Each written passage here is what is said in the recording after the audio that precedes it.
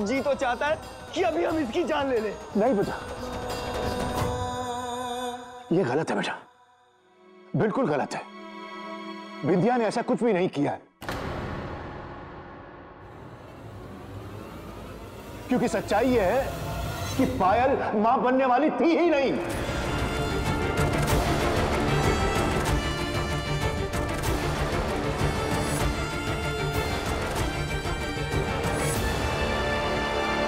वाह वाह बलदेव जी।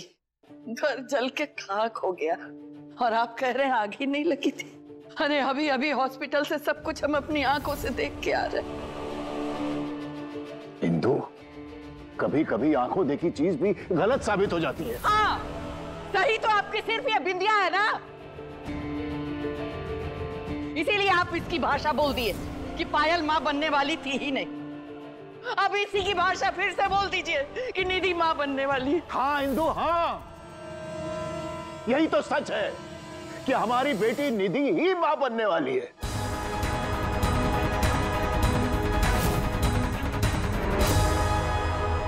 अगर तुम लोगों को हमारी बातों पर विश्वास नहीं होता है तो फ़ोन उठाओ और उससे पूछ लो।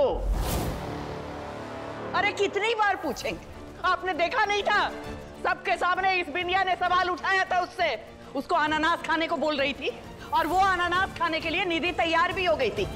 अगर वो गर्भवती होती तो क्या अनानास खाने के लिए तैयार होती? क्योंकि उस समय वो मजबूर थी।